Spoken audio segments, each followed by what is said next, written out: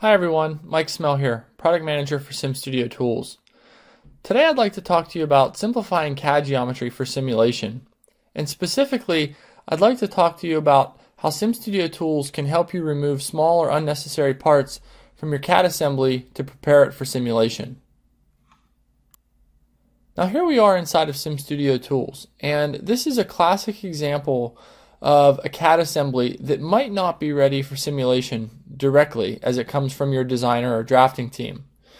If we were to potentially conduct a modal analysis or an airflow analysis around this geometry, uh, all of the part numbers and small componentry in this assembly are going to make the simulation process itself far more complex than it needs to be uh, for getting the results that you're looking for um, in, in either of those cases, whether it be a modal analysis uh, or a CFD analysis.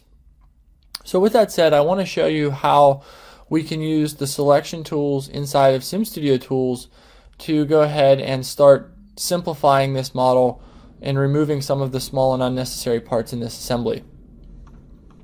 So if we come up to the toolbar and we click the drop down under select, you'll see that we have uh, a selection tools menu that flies out and we have a number of different opportunities here to select components from the model. So first we can select by size, we can also select by boundary, and we can select by name.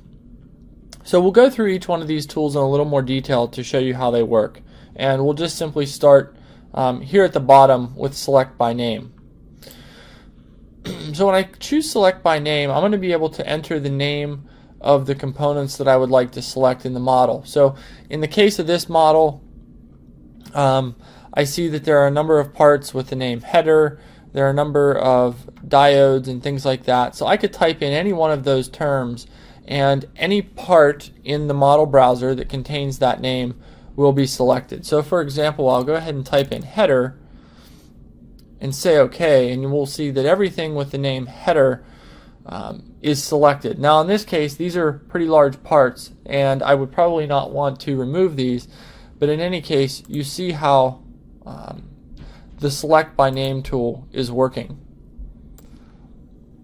Now, again, what we're doing here is selecting items, and once items are selected, we have the ability to do any of the downstream features in SimStudio tools. We can delete those parts, we can suppress those parts, we can move those parts, um, etc. The next thing that we'll take a look at is using the select by boundary box. And in this case, we can start by picking a specific component on the model. And what it's going to do is create a bounding shape around the centroid of the item that we've selected. So here you see that we're creating a box. We also have the opportunity to create a cylinder or a sphere. Um, we have the ability to control the selection type. So anything that's fully enclosed in this boundary will be selected or anything outside this boundary will be selected. So depending on how you would like to use this bounding box to control your selection, uh, you have those those opportunities here. Further, you also have the ability to choose the intersected option, which says rather than requiring the bounding box to fully enclose a given component or part, uh, you have the ability to say that if it's intersecting, it will also be selected. So let's take a look at this in closer detail. You'll notice I've got a bounding box created around this component, and I have drag handles that will allow me to resize this box appropriately, and you'll see as it begins to fully enclose components in, in space, those will be selected in blue, and then I have the opportunity to use SimStudio tools to make a decision about what I want to do next. So now that the components are selected, I can right click and I have the ability to again delete. I can come down and either isolate those components so I can focus on them, I can hide them, or I can suppress them. So in the context of preparing this for simulation, what I might want to do is simply suppress those.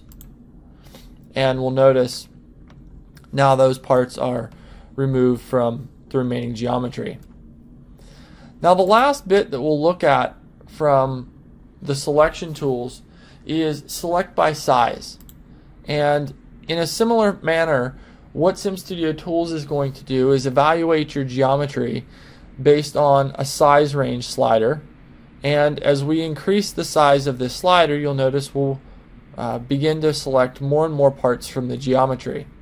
So if we're wanting to use this to very quickly and easily select all the small parts that potentially would not have you know a lot of mass in the context of a modal analysis or would make it very difficult to calculate the flow around or potentially wouldn't have much impact on the flow if we were doing a CFD analysis to look at the cooling of this uh, assembly.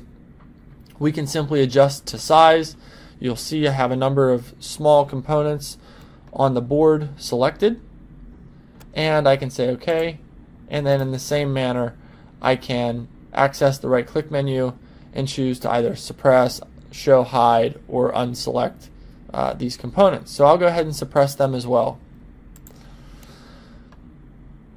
So you'll notice in this uh, video we talked about using the different types of selection tools inside of SimStudio Tools to make it very easy to select uh, and remove unnecessary or unimportant parts from your CAD assembly as you prepare for simulation.